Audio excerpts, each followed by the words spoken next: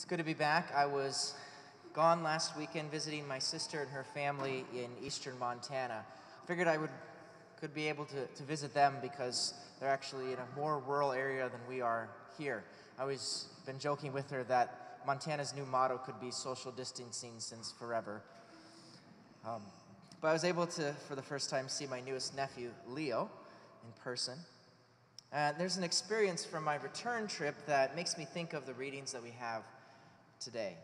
Well, one of the nights I did some tent camping near the base of a small mountain to avoid being around people.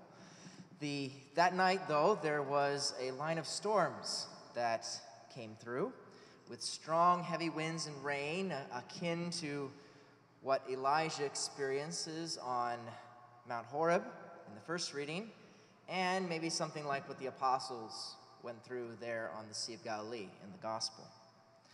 And so, in the midst of the storm, I did have some concerns as to whether or not my tent would hold up. Fortunately, it did. Um, and the storm really only lasted about half an hour. And I didn't have any earthquake or fire, as Elijah did. The next morning, then I was able to hike up the, the mountain with the sunrise, the only person on it the entire time that I was there. An experience of, of peace and being alone in the presence of God, just as we see Elijah and Jesus also seeking that out on their own mountains. So, both Elijah and Jesus teach us that in the midst of the hecticness of our lives, that we need to get away to a quiet place to pray if we want to be able to hear the Lord. In Elijah's example, first he experienced the strong wind, but he didn't find the Lord in the wind. When situations are chaotic around us, when we feel like things are so much out of our control, this often leads to an experience of interior storms as well. But these kinds of storms aren't from God. If you remember when I Uh, gave my homily series during Lent and Easter on the discernment of spirits, that was one of the things that we were considering is that that kind of interior disquiet is, is from the enemy, trying to get us off track from following the Lord. Because it feels like God is absent, in a sense, from the boat. But we learn that it doesn't mean that He is. It doesn't mean that we're alone. So then Elijah had the experience of the earthquake, but the Lord, again, was not in the earthquake. God doesn't desire to let us fall apart into utter ruin, though there might be times in which God may allow us to be shaken by some of the things that we go through, shaken so that it causes us to return to Him. And then Elijah experienced the fire and the Lord was not in the fire. God's will is not that we be lost in eternal flames, but rather we experience the fire of his, his love so that we turn away from sin and imitate him. It was finally in the tiny whispering sound that God made himself known to Elijah. And that's where God is most often found, where we will find him, in the quiet. The Holy Spirit is a, a constant, persistent, quiet, whispering wind, rather than a, a violent storm. God may have the power of the earthquake, but he chooses to be very gentle in shaking us back to him. The Spirit is not a destructive fire, but compassionate and transforming fire of love. So when life places us in the midst of storms, when fears and anxieties begin to mount against you internally like the waves and the wind crashing against the boat, when the circumstances threaten to shake your faith in God, when the difficulties seem to be spreading about like an uncontrolled fire. What is missing the most is that we're unable at, at that moment to see that God is there.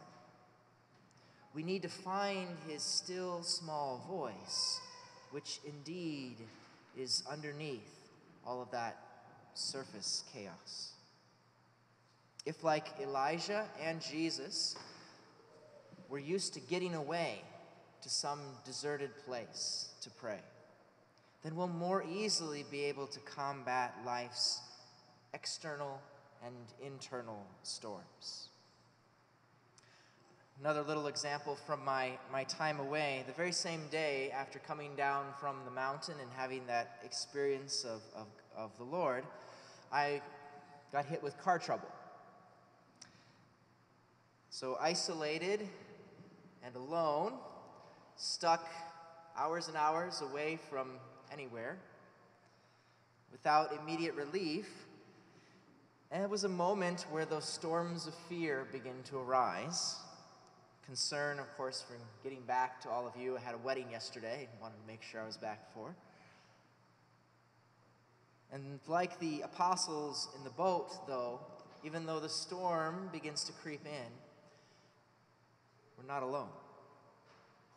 I ended up being able to contact and stay with a priest at a local parish.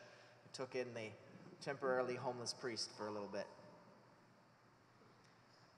And the beautiful thing is, is that I was able to help Father do some confessions for a youth holy hour. And that really, once again, was this experience of the Lord and a moment of quiet.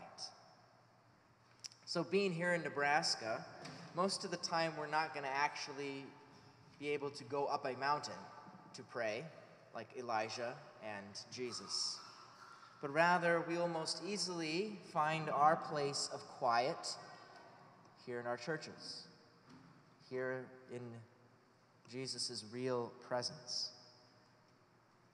Even though God is not in the strong and heavy winds, the apostles were not alone. We are not alone.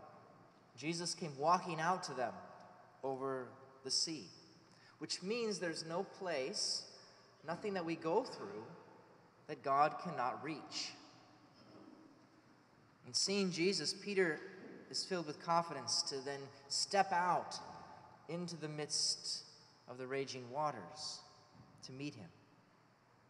Of course, just as we will experience too in those moments when we're trying to have faith in God, but then also shaken by what's going on around us. As the wind and the waves continued, Peter's faith faltered and he was frightened He began to sink. In the midst of difficulty, that can happen to us as well.